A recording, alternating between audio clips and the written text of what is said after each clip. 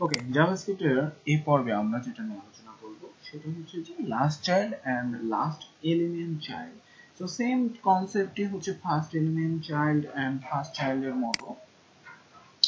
Just যদি আমরা এবার মনে করেন যে এই জায়গায় ফার্স্ট এলিমেন্ট চাইল্ডের জায়গায় যদি আমরা লাস্ট করে দিই লাস্ট মানে হচ্ছে যে মাই আইডি এবার লাস্ট কোনটা ধরবে যে পিটা তাই না? সো পি পিটার সাপোজ আমি এখানে দিয়ে দিলাম হচ্ছে পি সো আমরা এখানে প্রথমে যেটা করতে পারি, সেটা হচ্ছে লাস্ট চাইল্ড এলিমেন্ট লিখে আমরা হচ্ছে যে টেক্সট কন্টেন্টটা তার দেখতে পারি যে কি আছে সামথিং আমরা যদি আউটপুটে যাই, এবার আমরা হচ্ছে যে কি দেখব?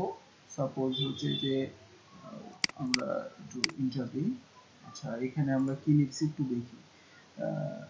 Last last element child text content. Okay আমরা এটাকে একটু বাদ দিয়ে দিই না। Change P content okay change P content আমাদের এটা না মনে হচ্ছে যে সামথিং এটা আসার কথা। আমরা এটাকে অফ করে দিই হ্যাঁ? তাহলে আমরা বুঝতে পারব, এই যে দেখেন সামথিং আমাদের কাছে কি আছে? সামথিং আসছে বাট আমি যদি এবার এটাকে অন করে দিই, তাহলে আমরা যেটা দেখতে পারব যে চেঞ্জ করলাম, এবার এই লেখাটা ওকে তার মানে আমরা এই এই যে এটা এটাকে ধরতে পারছি, এটাকে চেঞ্জ করতে পারছি।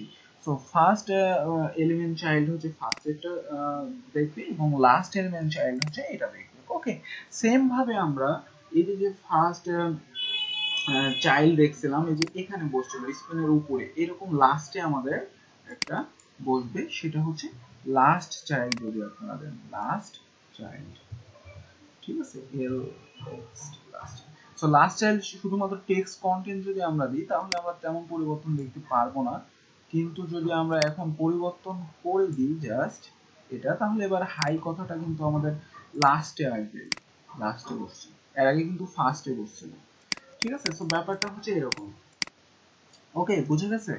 সো এইভাবে আমরা মেনলি এই কাজগুলো কিন্তু করতে পারি দেখতে পারি। ওকে সো এটা ছিল হচ্ছে যে লাস্ট এলিমেন্ট চাইল্ড এবং হচ্ছে যে লাস্ট চাইল্ডের কাজ। লাস্ট চাইল্ডের কাজ। ওকে